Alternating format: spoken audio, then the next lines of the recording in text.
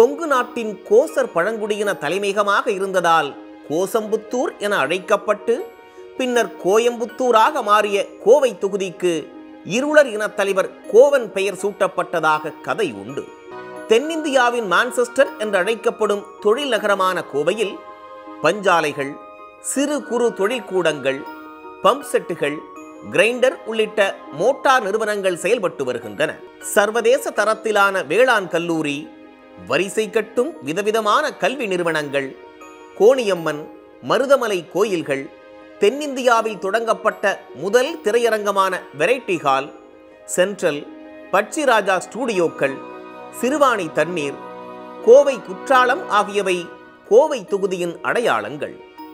நூற்றாண்டு கால pump set உற்பத்தி தொழில் மூலம் ஆண்டுக்கு இருபதாயிரம் கோடி ரூபாய் பரிவர்த்தனை நடக்கும் கோவையில் ஹை எண்ட் பம்ப்ஸ் தயாரிக்க மத்திய அரசு உதவியை தயாரிப்பாளர்கள் எதிர்நோக்குகிறார்கள்.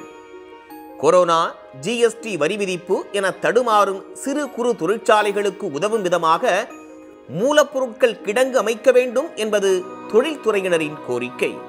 இந்த ஜிஎஸ்டிக்கு அப்புறம் பார்த்தீங்கன்னா தொழிலில் வந்து ஒரு மந்தநிலை ஏற்பட்டிருக்குது. அது குறிப்பாக பார்த்தீங்கன்னா பம்ப் செட்டில் வந்து பன்னெண்டு பர்சன்ட்லேருந்து பதினெட்டு பர்சன்ட் ஆகினதுக்கப்புறம் பார்த்தீங்கன்னா ஒரு ஆர்கனைஸ்டு பம்ப் இண்டஸ்ட்ரி வந்து கொஞ்சம் தொய்வாக இருக்குது. இதை வந்து கவர்மெண்ட் ரீகன்சிடர் பண்ணணும். நூற்பாலைகள் அதிகம் உள்ள கோவை பகுதியில் பத்து லட்சம் தொழில் முனைவோர் உள்ளனர். சர்வதேச தரத்திலான ஜவுளி வகைகள் உற்பத்தி செய்யப்படுகின்றன. ஊக வணிகத்தால் ஏற்பட்டுள்ள மூலப்பொருட்கள் தட்டுப்பாட்டால் மிக பெரும் பொருளாதார நெருக்கடியை சந்தித்து வரும் ஜவுளித்துறையினர் சர்வதேச விலைக்கேற்ப மூலப்பொருட்களை இறக்குமதி செய்ய சலுகைகளை மத்திய அரசு வழங்க வேண்டும் என கோரிக்கை விடுக்கின்றனர். சர்வதேச விலைக்கும் எங்களோட விலைக்கு இங்கே இங்கே இருக்க இந்தியாவில் இருக்கக்கூடிய மூலப்பொருள் விலைக்கு பார்த்தீங்கன்னா கிலோக்கு இருபது ரூபா இருபத்தஞ்சு ரூபா வித்தியாசம் இருக்கிறதுனால எங்களால் அவங்களோட போட்டி போட முடியல. அரசு வந்து மூலப்பொருட்கள் இறக்குமதி செய்யறதுக்கு ஆன அத்தனை சலுகைகளையும் எங்களுக்கு வழங்கணும். ரெண்டு வங்கிகள் இருக்கிறது பார்த்தீங்கன்னா வங்கிகள் இப்போ வந்து கட்டுப்பாடற்ற லெவலில் இருக்குது என்னன்னு பார்த்தீங்கன்னா ஸோ வட்டி வந்து வந்து சமநிலையில் இருக்கணும். எல்லாத்துக்கும் எப்போ வாங்கினாலும் ஒரே மாதிரி லெவலில் எங்களுக்கு வட்டி வட்டிக்கு கிடைக்கணும். ஸோ வங்கிகளை கட்டுப்படுத்தணும்.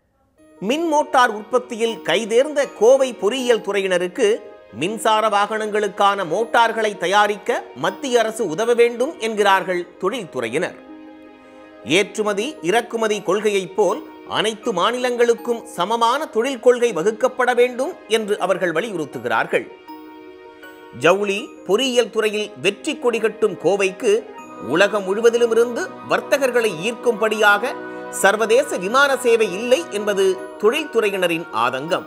இப்போ எங்களுடைய வேண்டுகோள் என்னன்னு கேட்டிங்கன்னா வெளிநாடுகளுக்கு அதிகமாக ஏற்றுமதி இங்கிருந்து செய்யப்படும் பொழுது கோயம்புத்தூரில் இருக்கக்கூடிய விமான நிலையத்தை வந்து விரிவாக்கப்படுறதா இங்கே அதிகமான விமான சேவைகள் வந்து வந்தடையும்.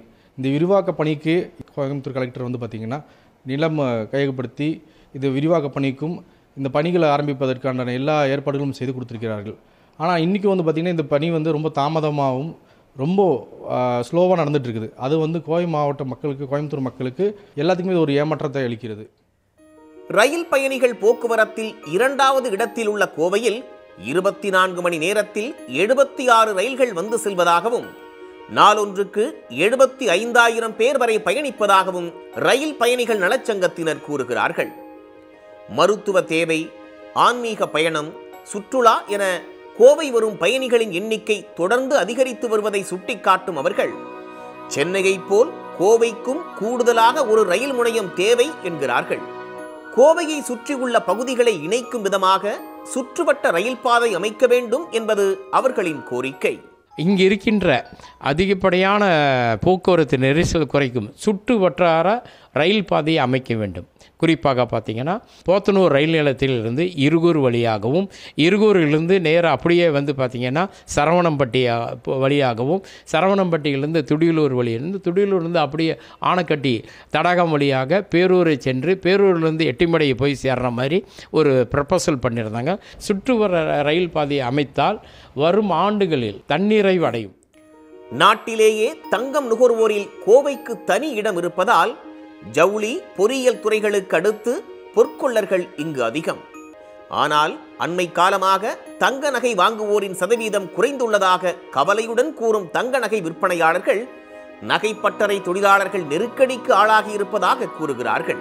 எனவே விற்பனையை அதிகரிக்க மத்திய அரசு வரி விதிப்பில் மாற்றம் செய்ய வேண்டும் என வலியுறுத்துகிறார்கள். தங்க நகை தொழில் பூங்கா அமைத்து தர வேண்டும் என கே- கேட்டுக்கொண்டு இருக்கின்றோம். கோவையிலே வந்து மூன்றாவது இடமாக தங்க நகை தயாரிப்பதிலே நாங்கள் இருந்து வருகிறோம். ஆகவே கோவையிலே ஒரு தங்க நகை தொழில் பூங்கா அமைத்திட வேண்டும் என்று இந்த கோரிக்கை இங்கே நாங்கள் பதிவு செய்கின்றோம். இறக்குமதி வரியை வந்து பதினஞ்சு சதவீதத்திலிருந்து நாலு சதவீதமாக குறைத்தார்களே ஆனால் மிக மக்களுக்கு அனுகூலமாக இருக்கும் வியாபாரமும் செழுமையடையும். இதை இதை நம்பி வாழும் இந்த இந்த நாட்டில் ஐந்து கோடி மக்களுடைய வாழ்வாதாரம் மேன்மையடையும். நொய்யலாறு சாக்கடையால் சூழப்பட்டிருப்பதை சுட்டிக்காட்டும் சூழலியல் ஆர்வலர்கள் நதி நீர் சீரமைப்பு திட்டத்தின் கீழ் அந்த நதியை சீரமைக்க புதிய எம்பி அக்கறை காட்ட வேண்டும் என எதிர்பார்க்கிறார்கள். கோவை மக்களவை தொகுதியை பொறுத்தவரை கோவை வடக்கு கோவை தெற்கு கவுண்டம்பாளையம் சிங்காநல்லூர் சூலூர் தொகுதிகளும் திருப்பூர் மாவட்டத்தில் உள்ள பல்லடம் தொகுதியும் சேர்த்து ஆறு சட்டப்பேரவை தொகுதிகள் இடம்பெற்றுள்ளன. ஆண் வாக்காளர்கள் பத்து லட்சத்து முப்பதாயிரத்து அறுபத்தி மூன்று பேரும் பெண் வாக்காளர்கள் பத்து லட்சத்து ஐம்பத்தி இரண்டாயிரத்து அறுநூற்று இரண்டு பேரும் மூன்றாம் பாலினத்தைச் சேர்ந்த முன்னூற்று அறுபத்தி ஒன்பது பேரும் என மொத்தம் இருபது லட்சத்து எண்பத்தி மூன்றாயிரத்து முப்பத்தி நான்கு வாக்காளர்கள் உள்ளனர். தொழிலாளர்கள் அதிகமுள்ள பகுதி என்பதால் இடதுசாரி சிந்தனை அதிகமுள்ள பகுதியாக திகழ்ந்தாலும் குண்டுவெடிப்பு சம்பவத்திற்கு பிறகு உருவான வலதுசாரி அரசியலையும் கோவை தொகுதி தாங்கி நிற்கிறது. கோவை மக்களவை தொகுதியை பொறுத்தவரை சிபிஐ காங்கிரஸ் சிபிஎம் கட்சிகள் அதிக முறையும் திமுக அதிமுக பாஜக வேட்பாளர்கள் சில தேர்தல்களிலும் வெற்றி பெற்றுள்ளனர். கடந்த தேர்தலில் திமுக கூட்டணியில் போட்டியிட்ட மார்க்சிஸ்ட் வேட்பாளர் திரு பி ஆர் நடராஜன் ஐந்து லட்சத்து அறுபத்தி ஓராயிரத்து எழுநூற்று நாற்பத்தி ஓரு வாக்குகள் பெற்று வெற்றி பெற்றார். அவரை எதிர்த்து போட்டியிட்ட பாரதிய ஜனதா கட்சியின் சி பி ராதாகிருஷ்ணன் மூன்று லட்சத்து தொண்ணூறாயிரத்து எண்ணூற்று இருபத்தி மூன்று வாக்குகள் பெற்றார். மக்கள் நீதி மய்யம் கட்சியின் வேட்பாளர் மகேந்திரன் ஒரு லட்சத்து நாற்பத்தி நான்காயிரத்து எண்ணூற்றி எட்டு வாக்குகள் பெற்று மூன்றாவது இடம் பிடித்தார். தொகுதி மக்களுக்கு அளித்த பல வாக்குறுதிகளை வெற்றி பெற்ற எம்பி திரு நடராஜன் நிறைவேற்றி இருப்பதையும் செய்ய முடியாதவற்றின் பின்னால் உள்ள அரசியலையும் வாக்காளர்கள் அறிந்து வைத்திருக்கிறார்கள்.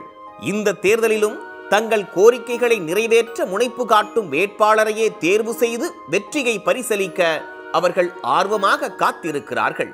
சன் செய்திகளுக்காக கோவையிலிருந்து மோகன். உடனுக்குடன் செய்திகளை தெரிந்து கொள்ள சன் நியூஸ் பெல் கிளிக் பண்ணுங்க.